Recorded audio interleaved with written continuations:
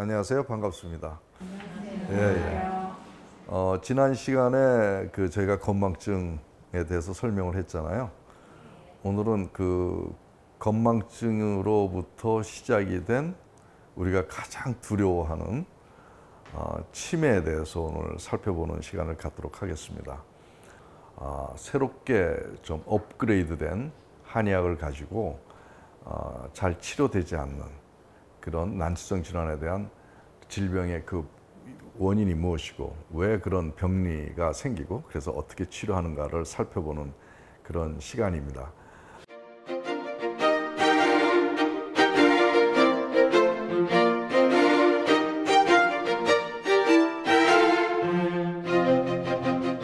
아, 우리가 치매 그러면 어, 생각만 해도 좀 끔찍한 어, 생각을 하게 되는 두려운 질병이죠. 나는 죽으면 죽었지 치매는 안 걸리고 죽을 거야 라고 어, 다들 생각들 하고 있죠. 예? 아, 근데 에, 많은 분들은 아, 그 약속을 지키지 못하고 결국 요양병원에 가서 어, 다른 나라 세상 사람처럼 살아가는 그런 분들이 우리 주위에는 어, 자꾸 많아지고 있습니다. 예전에는 70대 초중반이면 어, 대부분 다 돌아가셨기 때문에 이러한 질환이 걸릴 틈이 없었어요. 근데 이제는 상가집 가면 80대 후반, 90세 돌아가시면 어 일찍 돌아가셨네요 이런 얘기할 정도로 아, 수명이 많이 연장이 되고 우리는 이제 100세 시대에 산다는 말을 이렇게 소, 예, 보편적으로 하는 그런 수명 연장의 그런 시대에 살고 있습니다. 그러다 보니까 그만큼 병이 예, 많아지는 거예요. 어, 이 치매도 일종의 어떤 뇌질환이기도 하지만 어, 만성 퇴행성 어, 뇌질환이다 이렇게 얘기할 수가 있어요. 퇴행성이라고 하면은 음, 나이가 들면서 세포들이 노화되고 퇴화되면서 자연스럽게 이루어지는 질병을 얘기하는 건데 나이 들으면서 몸이 약해지고 퇴화되는 건 어쩔 수 없는 거잖아요. 근데 특히 뇌세포가 약해지면서 어, 치매 발생률은 자꾸 더 높아지고 있고 어, 지금 75세 이상이 되면 어, 20% 이상, 30%까지는 어, 치매에 걸릴 것이다라고 하는 그런 아, 유병률을 지금 의학에서는 제시하고 있습니다.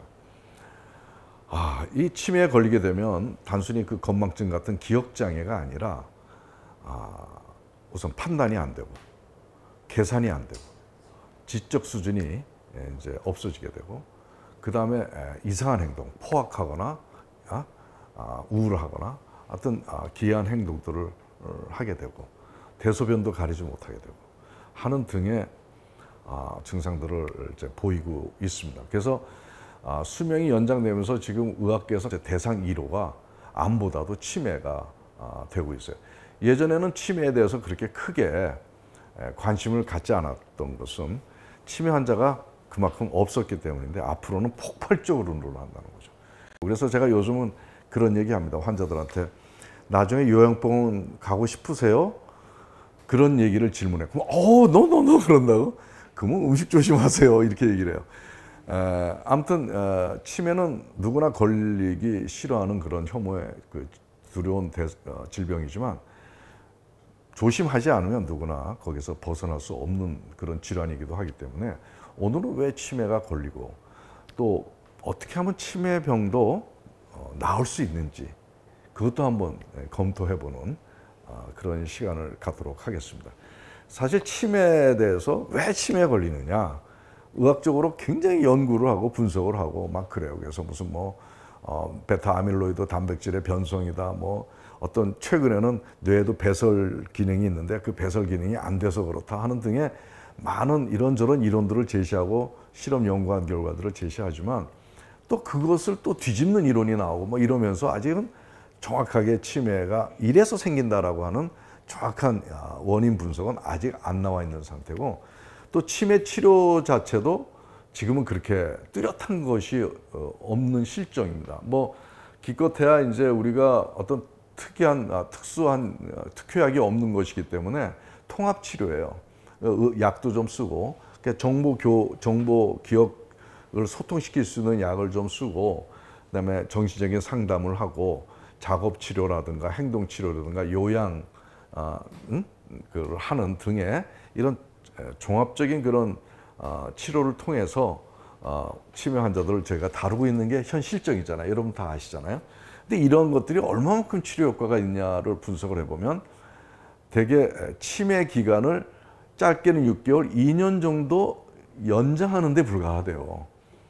대개 치매 환자들이 이제 사망을 하기 전 3, 4년 정도는 진짜 심각한 치매 환경 상황을 어, 보여서 가족들이 굉장히 괴롭고 병원 측에서도 힘든 문제인데 이거를 1년 정도로 단축하는 그런 효과들을 보이고 있습니다. 어쨌거나 치매는 근본적으로 되지 않고 어느 정도 관리해서 조금 더 연장하든가 심각한 상태를 줄여나가는 정도의 효과를 해서 더 이상 어, 큰 것이 별거 없다. 이런 그래서 참 어, 우리가 치매가 무서운 것의 이유 중에 하나가 치매 자체가 무섭지만 치료법이 없다는데 우리가 두려우게 되는 이유이기도 한 것 같아요. 그러면 치매는 그럼 과연 어, 치료가 안 되는 것이냐? 어?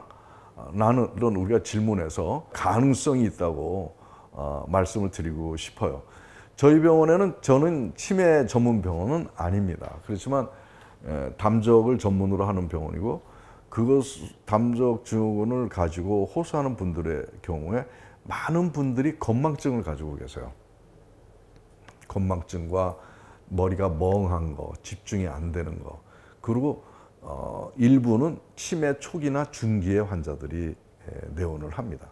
근데 저는 치료를 하더라도 대부분의 경우 호전이 되는 것을 많이 보게 되고 그래서 제가 치매에 대한 아, 병리학적인 소견을 새로운 한의학에서 이제 연구를 해서 왜 치매가 걸리는가를 저희들이 분석을 해놓은 것이 있습니다.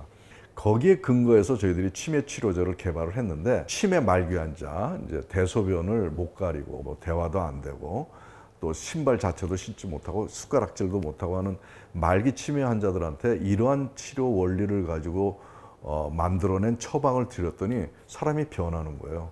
물론 아직까지는 이것이 어, 어, 많은 그런 임상 어, 그 통계를 통해서 낸 결과가 아니기 때문에 조심스러운 부분이 있지만 이런 것들을 통해서 우리가 가능성은 분명히 있다라고 희망적인 얘기는 할 수 있을 것 같아요. 그러면 어떤 원리에 입각해서 치매를 분석했고 거기에 따른 어, 치료법들을 만들어냈는가를 어, 잠시 설명을 드리겠습니다.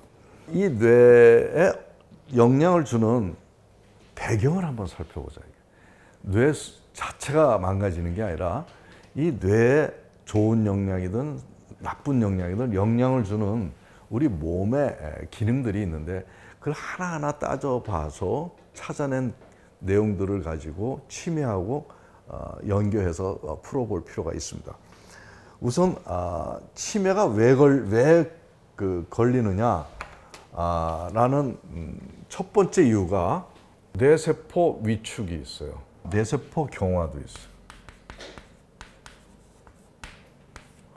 뇌세포가 어, 위축이 되고 음, 경화가 된다. 어, 뇌세포가 아주 부드러운 신경 다발로 돼 있는데 그 뇌세포가 굳어지는 거예요. 여러분들 굳어진다 그러면 뭐가 딱 떠오르죠? 담이 떠오르죠. 이제 여러분들은 뭐 제 조교가 돼도 될 것 같아요. 이게 위하고 장이잖아요. 위하고 장에 이제 담. 담 독소가 생기면 이것이 이제 간이나 이런 음, 심장을 통해서 뇌에다가 영향을 주는데 이 담이 뇌에 가게 되면 뇌세포는 딱딱하게 굳어져요. 부드럽지 못하고 딱딱하게 굳어지면서 굳어지니까 뇌로 공급이 되는 혈액 공급도 막아요. 그러면서 건망증서부터 시작이 됩니다. 이거는. 그래서 치매 전구 증상 그러면은 어, 건망증이 심한 경우 구취가 심한 경우 그 다음 우울증이 심한 경우 만성 변비가 있는 경우 이런 증상들을 갖고 있으면 치매 잘 걸려요. 만성 변비도 장에서 이렇게 숙변 같은 게 많으면 그 얼마나 더러운 기운들이겠습니까? 그런 것들이 뇌가 약한 사람한테 간다는 얘기죠. 그래서 그런 담독소가 뇌에 가면 뇌세포가 경화가 된다. 그래서 치매의 담을 없애는 게 굉장히 중요하다. 그 다음에 또 하나는 뇌세포의 진액이 감소되는 게 있어요. 뇌는요 아주 어, 그 신경 기능들이 활성화되는데 요 안에 뇌실이라는 게 있는데 이 뇌실이 호수 같은 거야. 그래서 이, 이 척수 있잖아요. 척수액을 통해 가지고요 그 뇌실에다가 그 응? 그런 아, 액을 공급해요. 그래서 이게 저장해 놨다가 뇌를 많이 쓰면 뇌도 열날 거 아니야. 그러면 뿌려줘요. 꼭 엔진 오일 같은 거예요. 뭐 자동차 잘 부드럽게 달리게 하든 엔진 오일이 필요하지 않습니까? 뇌도 그런 아주 좋은 오일, 진액, 최고의 깨끗한 액들이 뇌는 공급을 받아가지고 뇌 신경세포에다 계속 엔진 오일을 그런 기능이 계속 이루어지는데 그것이 뇌실을 액을 공급하는 그 장기가 뭐냐면 콩팥이에요. 신장. 예? 이 신장에서 그러한 액을 진액을 만들어 가지고 척수액을 통해 가지고 롤을 통해서 뇌에다 공급을 합니다. 여러분들 콩팥 그러면 그냥 오줌 걸러내는 걸로는 학교 때 배웠잖아요. 근데 그 이상은 더 아는 게 있으세요? 그렇게 없죠. 근데 콩팥은 소변 걸러내는 것도 중요한 기능이지만 진짜 중요한 게 뭐냐면 우리 몸에 진액을 만들어요. 진액을. 콩팥이 두 개잖아요. 하나는 오줌 걸러내는 거라면 하나는 예? 그런 진액을 어, 저장해가지고 보내는. 우리가 눈을 많이 쓰면 안구 건조 생기죠. 안구액을 누가 주는 줄 알아요? 콩팥이 주는 거예요. 그다음 관절 여러분도 오래 쓰면 퇴행성 관절 뻐그덕뻐그덕 거리죠. 관절액 누가 만들어주는 줄 아세요? 콩팥이 만들어줘요. 그리고 위장에 이제 어, 위산이 많이 분비되는데 그러면 위산 때문에 위장이 손상될 수 있는데 그걸 방어하는 뮤신이라고 하는 물질도 다 콩팥에서 줘요. 그리고 피부도 윤택하게 하는 것이 다 콩팥에서. 우리가 음식을 먹으면 음식을 먹어서 위장에서 일차적인 영양물질이 만들어져 가지고 그것이 이제 간으로 가서 간으로 가서 조금 더 미세한 영양물질로 만들어져서 심장을 통해서 흉선을 통해서 피가 되고 림프에게 되는데 그러한 그 피가 된 것들을 한 번더 요구한 거예요. 그러니까 굉장히 애기어요 그런 진액을 만들었다가 좀 연함은 걸로 만들었다가 콩팥에다가 저장한다 이거죠. 이 콩팥에다가. 여기다가 이제 진액을 이렇게 공급해 놨다가 필요할 때 쓰는 거예요. 꼭 은행에다가 돈 저장했다가 어? 돈쓸 때 갖다 쓰는 것처럼 콩팥은 진액을 이런 기능이 콩팥에 있다는 거예요. 근데 이런 것들은 잘 모르시더라고요. 콩팥에서 진액을 이렇게 저장해 놨다가 뇌실에다가 공급해 가지고 뇌 기능이 세포들이 활성화되도록 이렇게 하는데 기여를 하는데 나이가 들면 이게 떨어져요. 이 진액이 떨어지는 게 왜 떨어지냐? 나이가 들면 떨어진다. 그리고 너무 지나치게 과로한 사람들이 밤에 땀 나는 사람들 이런 게 다 진액 빠지는 거예요. 그래서 도, 밤에 땀 나는 걸 우리가 도안이라고 그래요. 도둑놈 땀이다. 그 진액을 뺏어간다 그래가지고 썩 좋은 건 아니죠. 스트레스 받으면 우리가 뭐 받는다 그러죠? 열 받는다 그러잖아요. 열 받으면 진액은 말라가게 돼 있는 거예요. 이런 것들이 결국 콩팥의 진액을 줄여가지고 결국 뇌세포가 어떻게 돼요? 진액이 감소돼가지고 쪼그라들어요. 어떻게 쪼그라들까? 호두 있잖아요. 호두. 오래된 호두 이렇게 쪼그라들듯이 그렇게 쪼그라들어요. 그래서 뇌 용량이 감소한다고 그러죠. 그 다음에 세 번째는 어, 뇌세포 빈혈 및 괴사. 심장에서 계속 뇌에다가 혈액 공급을 시켜줘야 되잖아요. 근데 심장이 약한 사람들도 있잖아요. 근심, 걱정, 두려움, 긴장된 상태, 뭐 이런 그 스트레스 이것저것 자식 걱정, 남편 걱정, 일 걱정, 돈 걱정 걱정을 사서 하는 분들은 자꾸 심장이 쪼리게 돼 있어서 심장이 약해집니다. 그러면 심장이 약해질 때마다 뇌에다가 혈액 공급을 원활하게 못 해주니까 뇌세포가 그때그때 빈혈이 오면서 세포가 죽어요. 그러니까 이런 것들이 중복이 되고 계속 만성화되면은 치매로 빠지게 될수 있죠. 그 다음에 네 번째는 정보 전달 호르몬 기능이 감소되는 거예요. 이것이 바로 이제 간, 간 때문에 생기는 거예요. 간 상화.